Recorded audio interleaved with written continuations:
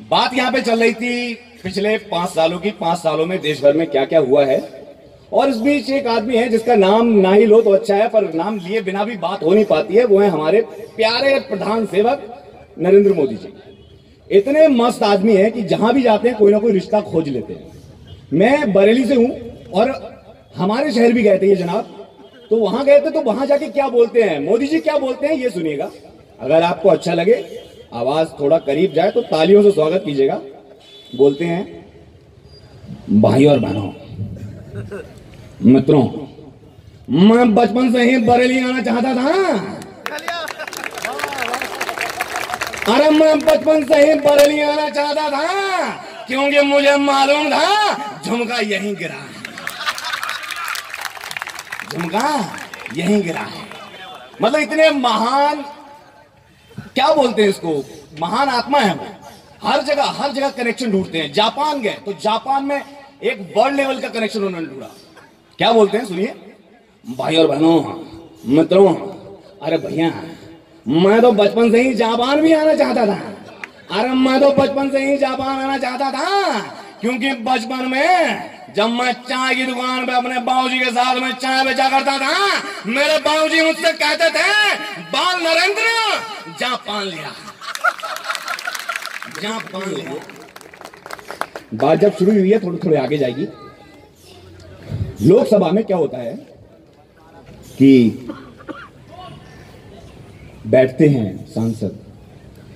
और सांसद बैठते हैं, लोकसभा का अध्यक्ष नाम लेता है कि अब ये बात रखने आएँगे और अब ये बात रखने आएँगे।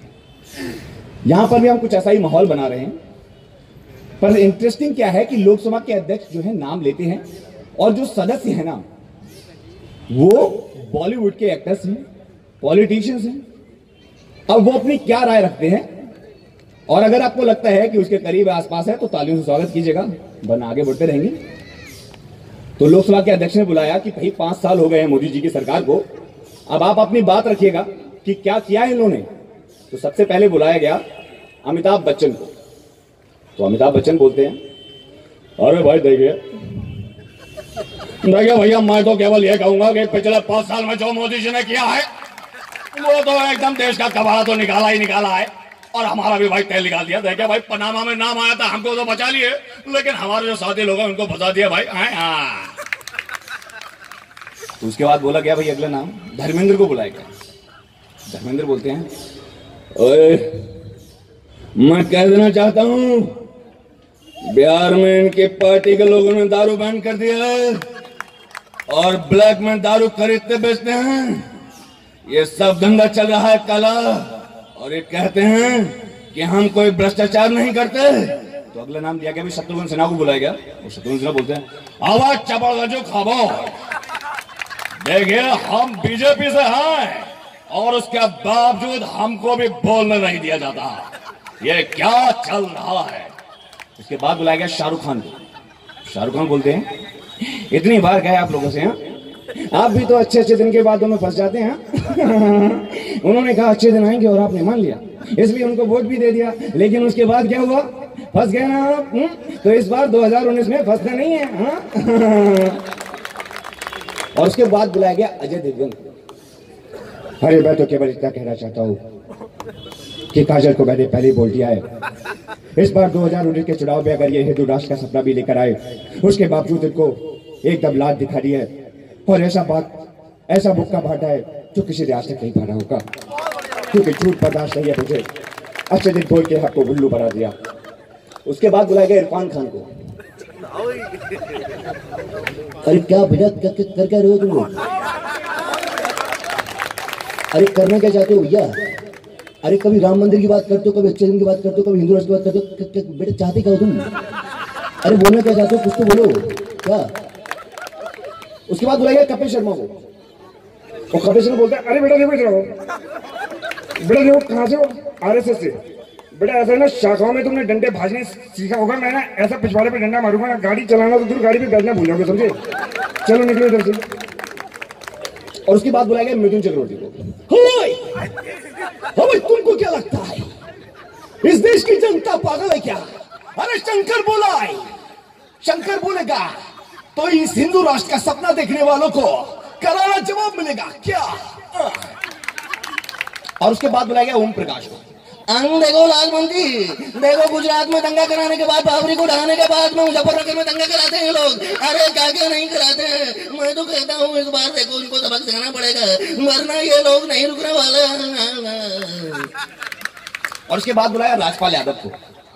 ये समीर भैया कितनी देर से कह रहे हैं, देखो, सलमा से हम शादी करना चाहते हैं, लेकिन ये तो घर वापसी के पीछे पड़े हुए हैं। अरे, साले पागल हो गए हैं, कह रहे हैं, पहले उसको सलमा से सकीना बना से, बनाने से पहले उसको तुमको जो है सुनीता बनाना पड़ेगा, लेकिन हमको भैया इनके चपड़ों में नहीं पड़ना। ये जो कर रहे हैं, बहुत ही गलत कर रहे हैं। कसम से हम क्या बताएँ तुमको, बहुत ही पागल हो रखे हैं लोग। और उसके बाद बुलाएगा अमरीश पुरी को। अरे भाई, अरे मैं तो कहता हूँ, अरे भाई, सुन लिया करो। अरे, इनको तो करारा जवाब देने से पहले एक बात भूलना रही है कि ये वही लोग हैं जो अच्छे दिन के नाम पे नोटबंदी कर गए। अरे भाई क्या क्या कर जाते हैं ये लोग? उसके बाद बुलाएगा जगदीप को। अरे भाई आई आई आई, अरे नोटबंदी की बात कर ली, लेकिन जीएसटी की बात कौन करेगा? आई आई आई, अरे हमारी तो बजूर की दुकान ही बैठ गई। आई आई आई, लकड़ियों का धंधा ही कमज़ोर चल गया है मियाँ। उसके बाद बुलाया गया सनी देओल को। बाबूजी बाबूजी, मैं केवल ये कहना चाहता हूँ, इन्होंने कश्मीर में सरकार बना लेते हैं, दूसरी तरफ़ जेएनयू के छात्रों को कहते हैं कि तुम देशद्रोही हो। अरे चल क्या रहा है ये? यूनिवर्सिटियों पे हमला करते हैं, दलितों पर हमला करते हैं, मुसलमानों पे हमला करते हैं। अरे ये लोग देश के सच्चे द्रोही हैं। ये लोग देश के दुश्मन हैं। और इस बार 2019 के चुनाव में इनको करारा जवाब देना पड़ेगा। और उसके बाद बुलाएगा सुनील शेट्टी को। ए भैया ये देश मेरा बाप है। ये मोदी कहता है इसके चमचे कहते हैं कि मोदी मेरा बाप है। ये चल क्या रहा है? कौन किसका बाप है? पता ही नहीं लगता है। और उसके बाद बुलाएगा ऋतिक रोशन। को आइला वो क्या होता मैं तो इतनी बार कहता हूँ। देखिए ना मेरे चॉकलेट जो पाँच रुपए की आती थी वो आज बढ़ के दस रुपए हुई है। महँगाई के दाम देखिए सिलेंडर जो था छह सौ रुपए का था वो आठ सौ रुपए का हो गया। चल गया मेरे को कुछ भी नहीं आया। हाँ, मेरे को कुछ भी नहीं आया। उसके बुलाया बाद बुलाया गया अक्षय कुमार को। हो मैं क्या जी नमस्कार आपका दूर का रिश्तेदार। भाई साहब कह रहे हैं रुक जाओ यहाँ पे रुक जाऊँ क्या मैं? हैं? नहीं आपको मैं अगर बोर कर रहा हूँ तो मैं चला जाता हूँ जी। हैं? अरे देखो क्या बात है देख लो सभी भैया आपके लोग बोल रहे मैं नहीं बोल रहा कुछ भी। हाँ।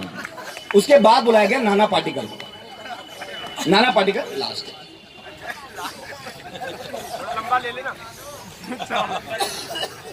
क्या है? मैं केवल एक बात कहना चाहता हूँ। इतना छोटा था जब इस शहर में पहली बार आया। बड़ा हुआ। एक दूसरे धर्म में लड़की से शादी किया।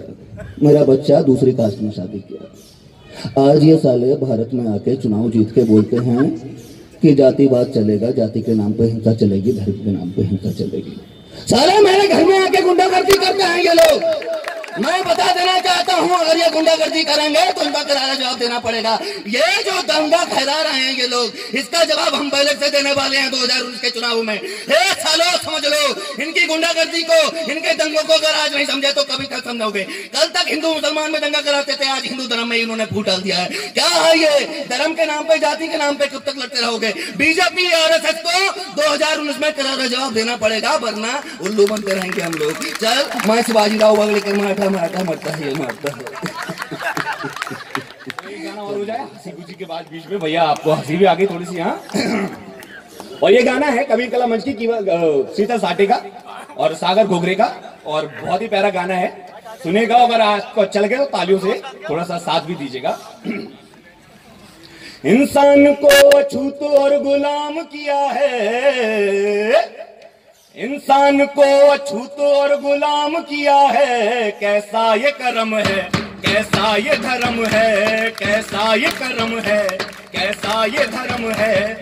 इंसान को अछूत और गुलाम किया है। इंसान को अछूत और गुलाम किया है। कैसा ये कर्म है? कैसा ये धर्म है? कैसा ये कर्म है? कैसा ये धर्म है? हर गाँव के बाहर हमारी बस्ती क्यों है? हर गाँव के बाहर हमारी बस्ती क्यों है? दलितों की जान इतनी सस्ती क्यों है? मुस्लिमों की जान इतनी सस्ती क्यों है? अछूत कह के मुसलमान कह के सदियों से मार दिया है। मुसलमान कह के सदियों से मार दिया है। कैसा ये कर्म है? कैसा ये धर्म है? कैसा ये कर्म है? कैसा ये धर्म है? पानी के लिए गाँव में हम रोज ही पिटे। पानी के लिए गाँव में हम रोज ही पिटे। मंदिर की सीढ़ी पर हमारे खून के चीटे। मंदिर की सीढ़ी पर हमारे खून के चीटे। चमार कह के चमार कह के सदियों से मार दिया है। चमार कह के सदियों से मार दिया है। कैसा ये कर्म है? कैसा ये धर्म है? कैसा ये कर्म है? कैसा ये धर्म है? हम पढ़ते हैं तो जातिवादी खून खोलता। हम पढ़ते हैं तो जातिवादी खून खोलता। फिर उनके मुँह से जातिवादी मनु बोलता। फिर इनके मुँह से जातिवादी मनु बोलता। अछूत कह के अछूत कह के सदियों से मार दिया है। अछूत कह के सदियों से मार दिया है। कैसा ये कर्म है? कैसा ये धर्म है? कैसा ये कर्म है? कैसा ये धर्म है? और महिलाओं के लिए देखिए, इनके पास क्या टॉनिक है? हमारी माए बहने सीताओं जैसी। क्या कहते हैं? हमारी माए बहने सीताओं जैसी। हर घर में यहाँ अग्नि परीक्षा कैसी? हर घर में यहाँ अग्नि परीक्षा कैसी? झूठी जंजीरों में। टूटी जंजीरों में नारी को कैद किया है। टूटी जंजीरों में नारी को कैद किया है। कैसा ये कर्म है? कैसा ये धर्म है? कैसा ये कर्म है? कैसा ये धर्म है? अंबेडकर फुले का हम गीत गाते हैं। अंबेडकर फुले का हम गीत गाते हैं। लोगों में आज़ादी का एहसास लाते हैं। लोगों में आज़ादी का एहसास लाते हैं। जाति विनाश,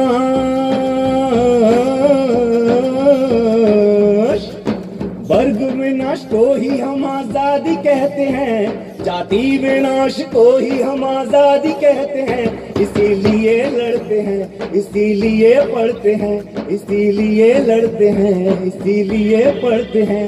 इंसान को अछूत और गुलाम किया है, इंसान को अछूत और गुलाम किया है। कैसा ये कर्म है, कैसा ये धर्म है? महाराष्ट्र के कवि रहे हैं, वो गाते थे अक्सर, अरे आसमां तेरा छत नहीं जाड़े, में रजाई सिग्नल पे तेरी दुनिया कड़ी धूप, मेरे भाई है, आसमां तेरा छत, नहीं जाड़े मेरे रजाई सिग्नल पे तेरी दुनिया कड़ी धूप, मेरे भाई। इंडिका में फिरते कुत्ते, असली वाले कुत्ते, असली कुत्ते पाल के जो लोग रखते हैं, वो कुत्ते। अरे इंडिका में फिरते कुत्ते, टोयटा में फिरते कुत्ते, तुझे बिस्किट की भीख ऐसा क्यों है? ऐसा क्यों है? ऐसा क्यों है? माँ बर्तन मांजती है, बाप कंस्ट्रक्शन पे जाता। माँ बर्तन मांझती है, बाप कंस्ट्रक्शन पे जाता। बचपन में बनी है कोई दो बच्चों की माता। माँ बर्तन मांजती है बाप कंस्ट्रक्शन पे जाता। बचपन में बनी है कोई दो बच्चों की माता। छह बाई आठ का घर हाँ छह बाई आठ का घर। अरे छह बाई आठ का घर और उसके सामने गटर। ऐसा क्यों है? ऐसा क्यों है? ऐसा क्यों है? अरे आसमां तेरा छत नहीं जाड़े में रजाई सिग्नल पे तेरी दुनिया कड़ी धूप मेरे भाई।